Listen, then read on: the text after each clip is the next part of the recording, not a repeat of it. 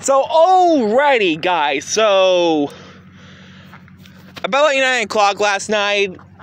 So, I realized that uh, Seth Rogen was at the Nickelodeon Choice Awards last night. At the end of the the Choice Awards. So, finally, we actually got some news about the new Teenage Mutant Ninja Turtles right mutant mayhem i mean mayhem. You know the like the little animated movie that's coming out in august? Yes a lot of people saying it's going to be like spider-man in the spider-verse because how it's animated. But besides the point yes uh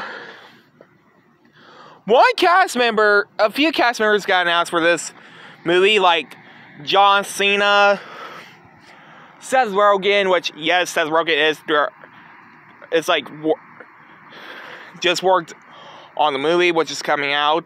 And yes, the movie will be coming out. Well, like the movie trailer is coming out tomorrow.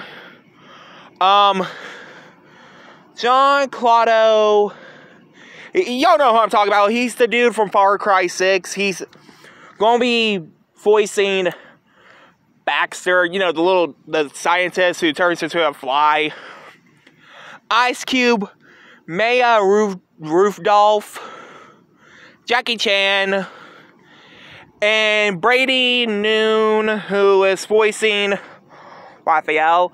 And if y'all want to know what he was best known for, he's actually known for his movie from the Seth Rogen movie from 2019, Good Boys, and known for his voice as uh, Greg Healthy, Healthy, or the character Greg from the Diary of Wimpy Kid movies on Disney Plus.